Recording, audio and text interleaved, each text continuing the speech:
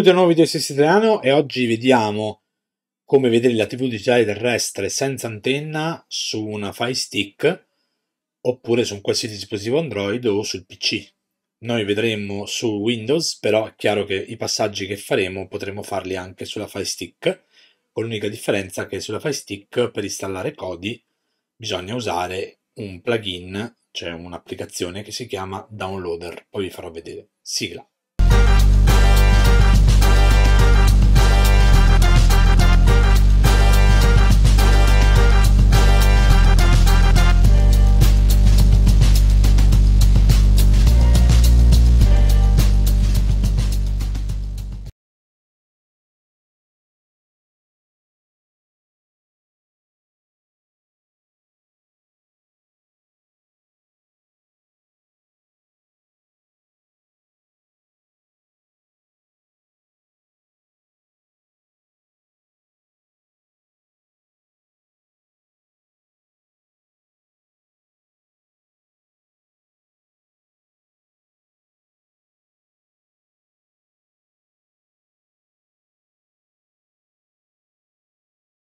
Allora, partiamo subito con il video. Utilizzeremo un add-on di Kodi. Innanzitutto qua siamo su Windows e andiamo a installare Kodi. Andiamo sul sito di koditv.download e qui, come vedete, c'è la versione di Kodi per tutti i sistemi operativi. Allora, che cos'è Kodi? Kodi è un'applicazione che consente di rendere multimediale il dispositivo su cui è installata per poter fare streaming di video, eh, immagini, musica e poi è piena zeppa di add-on, addirittura può essere usata per, per giocare in retro gaming. Eh, faremo diversi video su Kodi. Oggi vediamo come vedere la TV, ma poi vi spiegherò anche nel, nel futuro quali altre possibilità ha Kodi. Potete per esempio agganciare eh, Share NFS, Share Samba e magari avete un NAS in casa e poter vedere i film dal NAS senza dover avere un hard disk attaccato alla TV. Oggi vedremo come vedere la TV digitale terrestre per chi non ha l'antenna, magari ha uno schermo, possibilità di comprare magari un vecchio monitor, io ne ho trovato uno a 20 euro, l'ho messo in cucina, ci ho messo una Fire Stick e vedo la TV in cucina senza avere l'attacco antenna. Quindi scegliete innanzitutto la versione sistema operativo, noi il video lo faremo su Windows, ripeto, ma poi vi farò vedere anche su Kodi come è installato. Clicco sull'installer a 64 bit e vado a lanciare l'installazione. Ok, next, agree, next, lasciamo tutto selezionato e installiamo.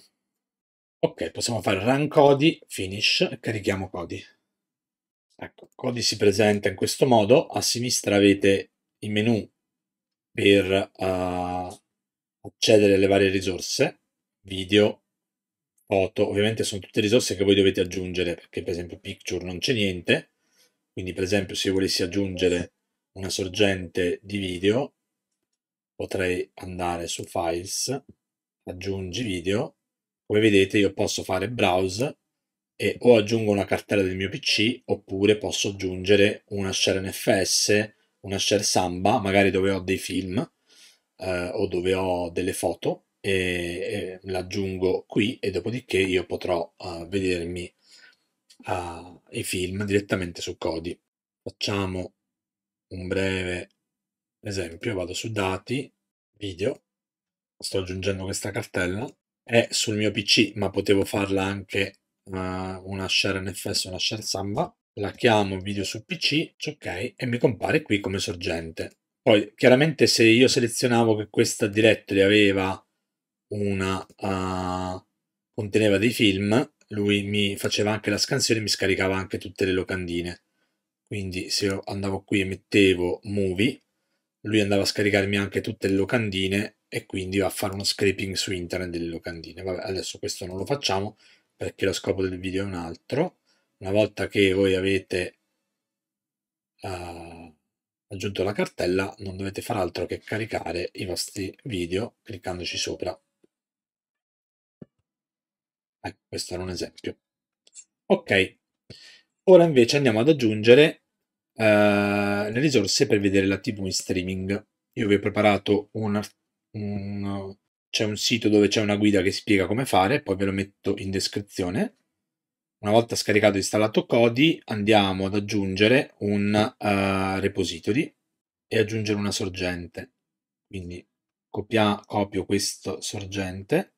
Come si aggiunge una sorgente? Basta andare qui nelle impostazioni, uh, File Manager, vado ad aggiungere Add Source, ok, qui metterò il link che, che ho copiato, faccio ok, questa la chiamiamo uh, eh, VLDTV, quello che volete, potete scrivere e la sorgente è stata aggiunta. Una volta aggiunta la sorgente, poi andiamo su uh, indietro, quindi con ESC, add-on, e gli diciamo di installare da uh, repository, eh, no scusate, da uh, zip file, quindi add-on, ist installa from zip file, sceglieremo, innanzitutto bisogna abilitare l'installazione da sorgenti non sicure, come Android, quindi installa zip file, andiamo a scegliere la sorgente che abbiamo aggiunto prima, installiamo questo file zip, repository wltv.zip, dice add-on installato.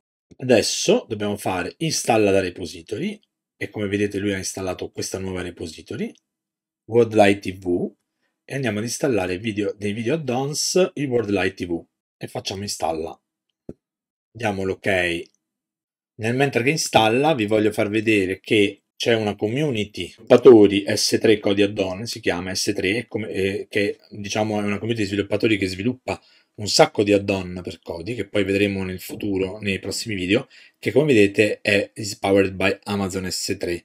Amazon S3 è un servizio di cloud storage a oggetti tipo Google Drive, tipo OneDrive, eccetera, o per esempio tipo Cabbit. A tal proposito ci fermiamo un attimo volevo presentare appunto quessto prodotto Cabbit S3. Cabbit è un servizio di object storage geodistribuito, cioè significa che è composto da diversi nodi, tutti limitati nel territorio italiano, che vi consentono quindi una scalabilità e una sicurezza dei dati, perché i file sono distribuiti in numerosi nodi nella rete che sono comunque limitati al territorio italiano per anche compliance con le direttive GDPR. Come vedete, non c'è quindi nessun single point of failure perché i dati sono cifrati e frammentati in chunk ridondati distribuiti su una rete globale peer-to-peer, al sicuro da qualsiasi downtime e data breach. Inoltre Cabbit vi garantisce oh, una protezione da ransomware grazie all'object locking e al versioning perché eh, vi consentono di recuperare qualsiasi file anche se questo viene sovrascritto o se viene, o venite attaccati da un ransomware che vi eh, crittografa i file. I prezzi sono molto più bassi rispetto ad altri servizi di S3 come Amazon, Azure eccetera e quindi avete anche un risparmio dei costi e tutte le aziende italiane che hanno già aderito a questa uh, iniziativa e che comunque fanno anche da nodi stessi della, della, rete Cabit sono molto famose come Granarolo, Bologna Airport e Amadori. Quello che succede è che se un nodo va giù, Cabit vi recupera immediatamente quel nodo replicando il dato in un altro nodo e quindi avete la garanzia che i vostri dati non verranno mai persi. È una procedura che crea nuove copie su altri nodi. Inoltre Cabit è compatibile totalmente con tutte le tecnologie attuali come QNAP, Synology, Vim, eccetera. E io, per esempio, come avete visto in diversi video, ho usato anche rclone oppure la semplice CLI di Amazon. Se vuoi approfondire di più il servizio Cabit, non devi fare altro che collegarti al sito e prenotare una demo gratuita o una call di approfondimento. Ecco, ci siamo tornati, la, l'addon è stato installato, adesso non ci resta che andare nella home page premendo ESC andare su add-ons, cliccare su Worldlight TV Helper, add-on, Worldlight TV Helper, ok, dice che ha installato una hotfix, qui andremo a mettere select list, vabbè gli diciamo che deve installare un client di PTV Simple Client, diciamo ok, questo serve poi per vedere veramente la TV, questo client, qua metteremo DTT Ok, manage list, vediamo cosa c'è qua. Qua non ci serve niente. International TV non ci serve niente. In teoria è sufficiente uscire adesso da Codi. Poi lo andiamo a riaprire. Come vedete in alto a destra sta caricando qualcosa.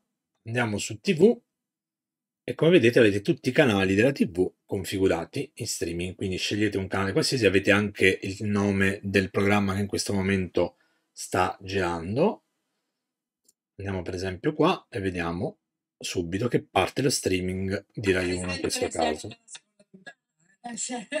Bene, quindi come vi dicevo Kodi ha un sacco di potenzialità, poi lo vedremo in futuro per altre potenzialità.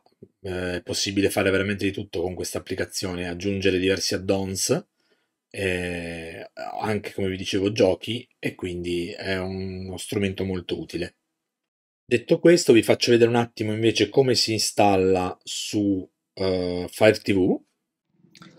Ok, sostanzialmente dovete andare su Downloader. Se non avete installato Downloader, lo dovete andare a prendere dalle, dalle mie app, comunque andarlo a installare dalle app di, dello store di, di Amazon. Una volta che avete installato Downloader, lo aprite. Ok, vabbè, adesso lui lo sta, lo sta installando. Una volta installato, dovete, Downloader è un'applicazione molto utile perché vi permette di scaricare file, vi fa vedere i siti in un modo molto semplice, quindi voi basta che cercate Codi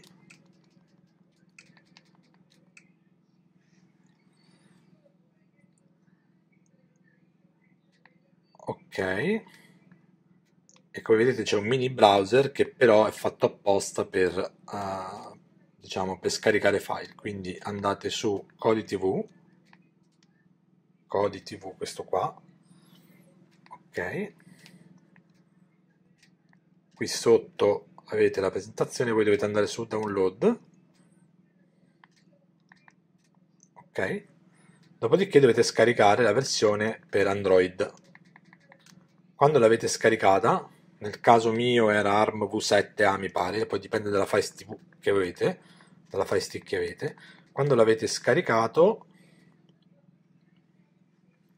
lui vi chiede anche se lo, se lo volete lanciare, quindi lanciate l'APK, ve lo installa e a quel punto tutto quello che avete visto nel video precedente lo potete replicare tranquillamente anche qua sulla Fire TV per vedere appunto la TV in streaming anche se non avete un avete già partita l'installazione vabbè poi io qua devo abilitare ancora le impostazioni.